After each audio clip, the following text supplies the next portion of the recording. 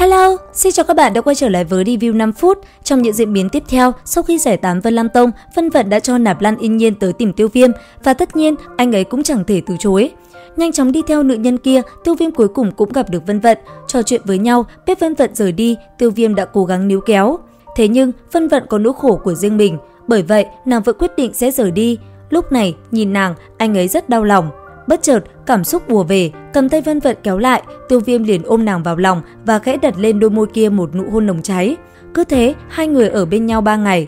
Sau đó, nhân lúc Tiêu Viêm tu luyện, Vân Vận đã lặng lẽ cùng Nạp Lan Yên Nhiên rời đi khỏi Gia Mạ Đế quốc.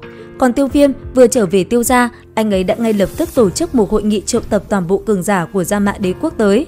Sau đó, anh ấy cũng nói cho mọi người biết mục đích lần này của mình chính là tạo dựng một thế lực mới tại Gia Mạ Đế quốc. Và tất nhiên, dưới sự kêu gọi của Tiêu Viêm cùng những ưu đãi mang lại, tất cả thế lực lớn nhất tại Gia Mạ Đế quốc cũng đồng loạt tham gia.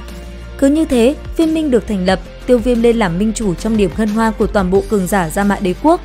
Thời gian qua đi, Tiêu Viêm rốt cuộc cũng có thời gian nói lời cảm ơn tới Mỹ Độ Toa và tất nhiên Tử Nghiên ở bên cạnh cũng có phần. Thế nhưng, sau khi nghe Tử Nghiên nói cơ thể nàng đang thay đổi, Tiêu Viêm hiểu cô nhóc này sắp đột phá. Bởi vậy, nhanh chóng sắp xếp lại mọi việc ở tại Viên Minh, Tiêu Viêm cũng liền luyện chế đan dược cho nhị ca của mình sử dụng.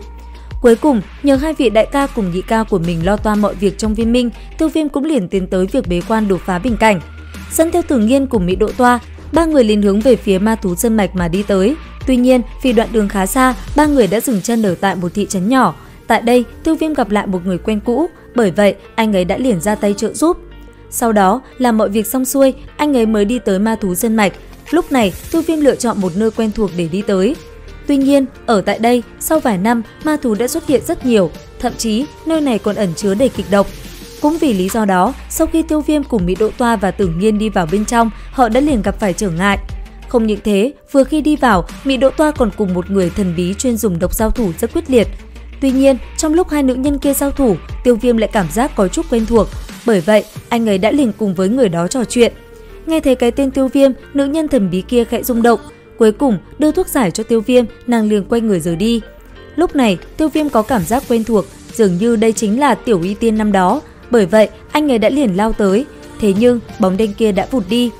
Cuối cùng, Tiêu Viêm cùng Mỹ Độ Toa đành phải trở về giải độc cho Tử Nghiên. Sau đó, hai người cũng tiến đánh khu trừ độc tố ở xung quanh. Làm xong mọi thứ, Tiêu Viêm cũng liền dặn dò hai con báo một lớn một nhỏ rồi mới lấy ra được đỉnh tiến hành luyện chế đấu linh đan. Còn Tử Nghiên cùng Mỹ Độ Toa không bị Tiêu Viêm quản thúc, hai người đã liền chạy ra ngoài làm náo loạn ma thú sơn mạch. Cứ mỗi nơi họ đi qua, thiên tài địa bảo đều bị lấy hết. Nhất thời, khắp nơi trong cái ma thú sơn mạch này đều vang lên những tiếng gầm giận dữ. Trở về sân cốc sau thời gian quậy phá, Tử Nghiên rốt cuộc cũng xuất hiện dấu hiệu khác thường. Cuối cùng, thân thể hóa kén, nàng cũng liền ngủ say. Cứ thế, ở trong sơn cốc, một người luyện đan, một người hóa kén tiến giai, chỉ có Mỹ Độ Toa một người thủ hộ vẫn lặng im quan sát. Thời gian trôi qua, Tiêu Viêm rốt cuộc cũng thành công luyện chế Hoàng Cực Đan, nhất thời dị tự xuất hiện liền làm nơi đây rung động. Còn bản thân anh ấy hiện tại cũng đã có dấu hiệu chuẩn bị đột phá, bởi vậy mang đan dược đưa ra bên ngoài, Tiêu Viêm sau đó liền trở lại bế quan tu luyện. Rất nhanh, dưới sự thủ hộ của Mỹ Độ Toa, Tiêu Viêm cùng Tử Nghiên rốt cuộc cũng sắp thành công đột phá chứng ngại đấu hoàng. Trải qua 2 tháng thời gian lặng yên, trên người Tiêu Viêm cùng cái kén của Tử Nghiên sốc của cụ phát sinh biến hóa. Lấy họ làm trung tâm, năng lượng đã ùn ùn kéo đến, cũng vì điều này, sơn cốc liền rung động. Bởi vậy, Mỹ Đỗ Toa đã phải phong tỏa nơi này. Cuối cùng, khi đã trợ giúp hai người kêu ổn thỏa, Mỹ Đỗ Toa đã liền trở về sản nhân tộc, bởi vì tộc nhân của nàng dường như gặp nạn. Nửa năm tiếp theo trôi qua, suốt cuộc Tiêu Viêm cũng tỉnh lại, ngửa mặt gầm lên, một cỗ năng lượng trong cơ thể liền bạo phát. Từ đây, Tiêu Viêm chính thức đột phá đấu hoàng, cũng nhờ vậy, cảnh giới linh hồn Tiêu Viêm đã liền biến đổi. Dựa theo ấn ký dược lão lưu lại, linh hồn anh ấy đã liền tới được nơi giam giữ lão sư của mình. Tuy vậy, nó chẳng được bao lâu đã bị chặt đứt.